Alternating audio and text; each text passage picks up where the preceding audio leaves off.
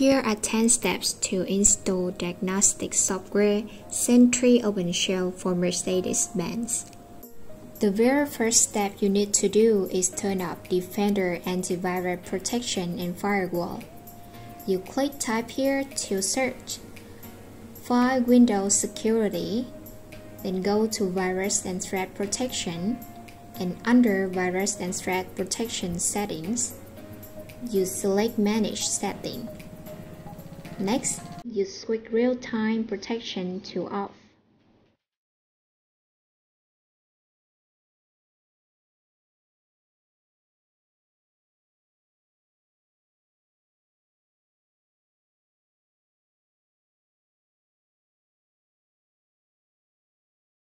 Secondly, let's open the Xentry folder, then run Start Xentry by right-clicking and choosing Run as Administrator and then choose the language you need.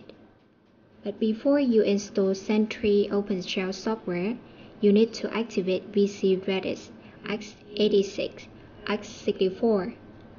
Click on XDOS underscore 22.6.3 and mount, and choose the Start Install button.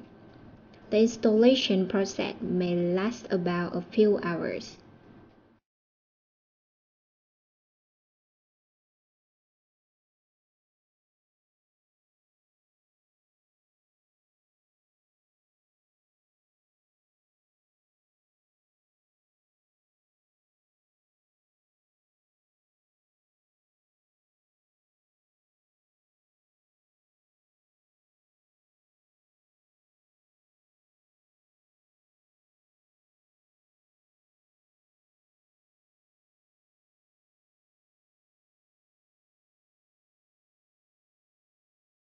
After that, you will reboot your computer.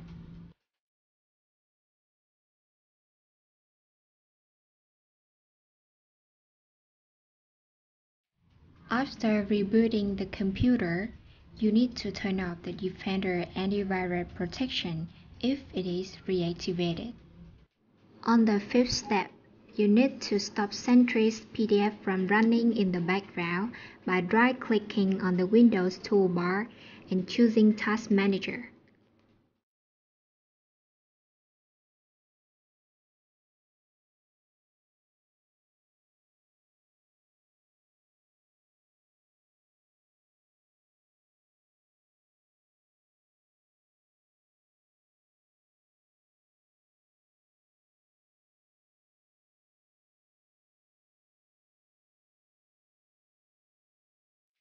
Next, crack Xentry OpenShell software and insert the missing file into the C drive.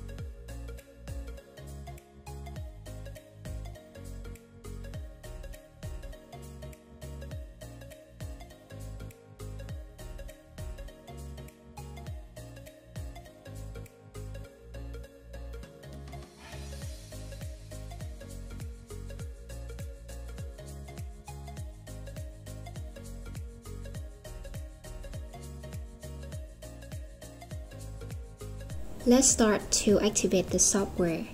Then you will use the ID to receive key active. You can contact us by WhatsApp or Facebook page to receive the key active. I will put the contact information on the video or you can also find it in the description box.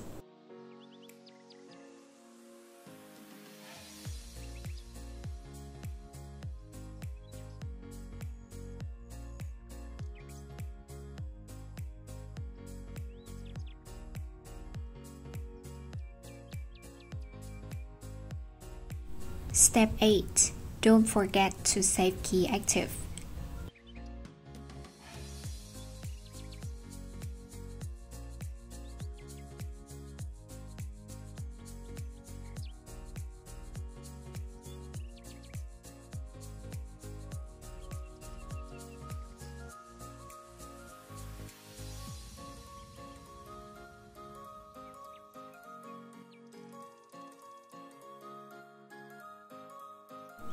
Next, change the LAN IP address.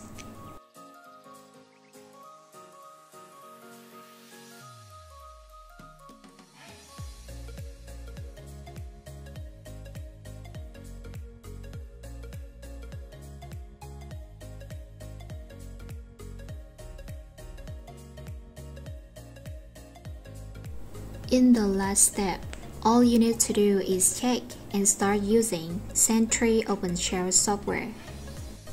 So, that's how to install Xentry OpenShell software. If you still cannot install it, or there's some software installation errors such as data updates are deleted automatically, cannot activate the software, or invalid key active, you should reinstall the Windows and again start at the first step.